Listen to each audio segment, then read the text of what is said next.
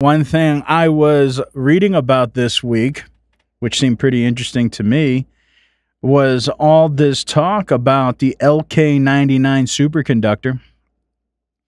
I know it's one of those holy grail things within the physics world of creating a room temperature semi uh, superconductor. But you know, this isn't the first time they've they've multiple multiple people have produced the idea that they have created one, but this one seems to have more potential. There's already, I think, two people who said they have replicated this results, which proves there may be some validity in it. I was just thinking what was interesting. I'm not going to get into the technicals of this. I may do a hot take on it. I'm not sure, but What's more interesting is the timing. Uh, and I was talking to a colleague here before we did this broadcast. I was always wondering why do they want to expose those aliens now? And I'm sure you guys, everybody always heard about aliens. Everybody heard of Project Bluebeam. Everybody has always anticipated this alien invasion. Alex Jones was talking about it 15 years ago that the the last thing the globalists are going to do is plot the alien invasion. And I get that too because they always need a war. When you study the globalists, they need a war, not only for monetary reasons, but also for controlling the global dominancy. Globalists. Yeah. But what I thought was interesting is the timing, because they could have said this alien stuff, put out these implants anytime. John Greer's been talking for like 20 years it's almost like he's just had to get the familiar face out there so when it's time, everybody, oh, John Greer, he's talking about it. And now we have all these valid military people testifying in front of Congress. And I say, why? And I've been thinking this for months. Now it makes sense. Implants sometimes don't work, they get infected. Uh, depends on the surgeon, even. Yeah, sometimes your body rejects it. Yeah. yeah. It seems like this one may be starting to get defective. Well, I well I think implant. It's one it's one of those long term things. It's almost like they had to make sure it lived. Yeah. But but anyways, what I thought was weird is if this is real, this will explain what you're going to see in the next 18 to 24 months. Lattices. You're going to see a lot of floating devices. I've been talking for maybe about three, three or four months. Like, why now? And it's what I believe now, since this superconductor has come out, is they needed to propagate the acclamation to the public that it needs to be a common place for you to see non propulsionated flying devices. That means the government has technology now that can, they can start testing non-propulsioned aerial phenomenons, UAPs. And you're just going to think it's alien stuff. I was just thinking it's an interesting time frame. For the last six months to a year, they've been propagating, well, probably about two years, they've been really trying to introduce aliens are real. We really get government uh, people are exposing it. And then within the last three to six months, it's been heavy like now, every news channel, every day there's something more propagated on mainstream media. There are now uh, Congress testimonies. And now we have LK99. So, my whole thinking is the government has been wanting to test more of this superconductor ability and possibly more aerial devices. But they can't without justification or people would freak out. But the more you acclimate something to, like habitually, the more it becomes nonchalant. It's like, oh, it's just another UFO. And then the government has the ability to do this without it being exposed. Because if too many people start filming this, it can be a national defense issue because it's just a phenomenon. Everybody, of course, is curious. But once you get the people get used to it, well, people, who cares? They're not going to film as much. They're not going to pay attention as much. Then the government can test more. Now it's almost like aliens live among us. We're all familiar with it. Who cares? And now it makes sense. Now the LK99 comes out. If it's real, that explains to me why the government is pushing so hard right now for you to believe in UFOs. You mean biologics?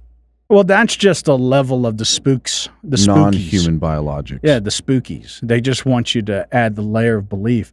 But really, all the government wants you to accept is that there's flying aerial phenomenons. So, do you accept aliens in, into your heart right now? No, but I know the government wants you to believe it. Well, aliens believe in you.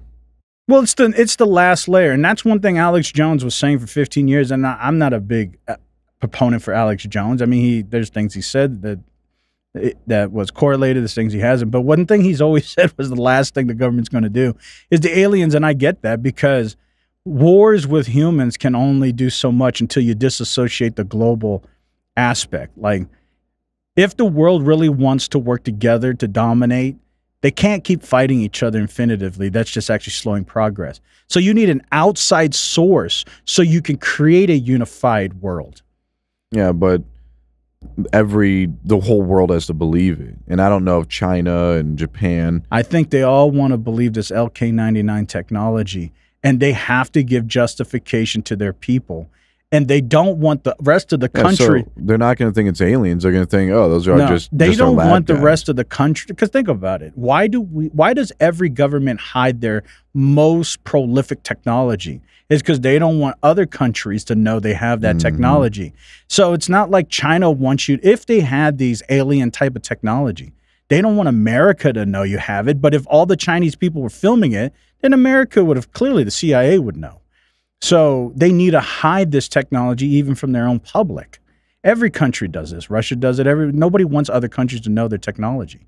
You know, if they have Megatron in the ocean, they don't want people to film that. Well, what about the you know the uh, third world country people uh, who see these things floating in the sky? Like they're they don't know anything about any of that stuff. They don't even speak. They some of these countries haven't even never seen a white person before. Yeah. They're gonna look up at the sky and excuse me, and they're gonna see these. Give it a great coupon. they're gonna see these things flying overhead, and they're, they're gonna be like, "Oh, creator." yeah, but see, I think the Western world and, mo- and mainstream media tries to make you think these people are ignorant, primitive on purpose. So whenever they say something, you'll just say, "Oh, they don't really know what they're talking about. They don't know what they're seeing." No, the whole world's going to see it, and everybody's going to have these speculations like, well, it could be the government, could be yeah, but if it was in could be God. if it was in modern countries, that's when people start believing legitimacy because the government propagates. yeah, but there is we're no coming options. out. We're coming out up front and telling you. There's no options in the in the countries I've never seen any other cultures like those ain't those cultures that are just living out there in the wilderness Yeah. by themselves, isolated. There's no option. They're just going to see floating metal objects, and they're going to say that is creator. That they're going to create a new if you're talking about those indigenous tribes, then yeah, Yeah. they're going to think it's just like what they've always seen. They will probably believe a comet is a deity or something because they, they don't understand any technology. yeah, and then they're going to get tractor beamed. No, that's fine. They're just going to see something. It's not going to do anything. You know, that'd be kind of cool if these these governmental crafts would actually pick all of these people up and just drop them in the U.S. so they could get educated.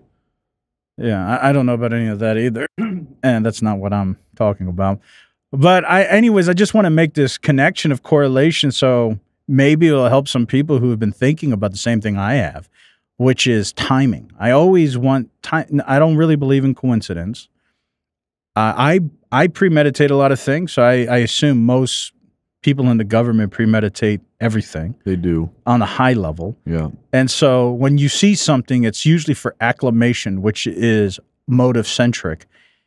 And so therefore you need to ask, like anything, what's the motive? And so when I look at timing, and then there's correlation between timing and the ability for what the timing is used for. Like if you want to tell somebody in this instance, if you want to tell somebody aliens are real, even though they've been hiding it since the 50s. But now in 2023, they want to tell you aliens are real. And then a couple months later, they want to say, we have this technology that they're not going to say it, but and if you look, if you understand the technology, it's going to, its possibilities could elude the fact of something that could simulate alien technology. Those two things with the, the timing set just seems like this was premeditated and aliens were just acclamations for the public to get prepared for more common reoccurring visualizations of these unidentified aerial phenomenons as they now they don't want to say UFOs. But anyways, they I just created the term, so I don't know Yeah. why it's. Well, it's you know you can always look back to since Project Blue Book, not Blue Beam, they've been changing these names for this alien investigation. You know, they actually recently made blue talkies too. Mm. It's kind of weird.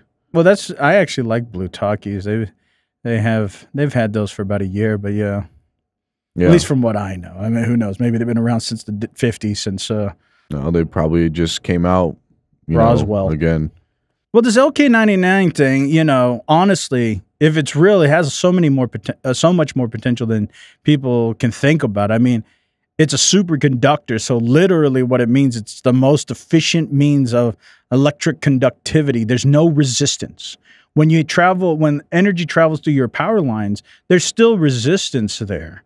But a superconductor has zero resistance and it works at ambient temperatures. So it's plausible that it could be utilized all over the world. It doesn't be froze down to like negative 200 plus to produce this superconductive features. If you have ambient temperature superconductor, this can be used everywhere and anywhere.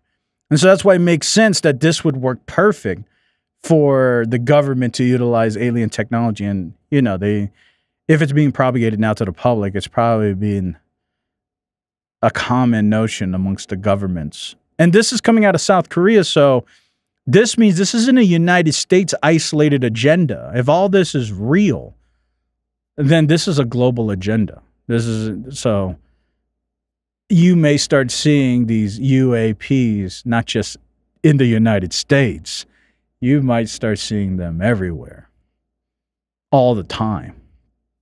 Anyways, uh, it, it helped made some sense to me and maybe that will connect some dots for you guys but that's what i thought was interesting about all that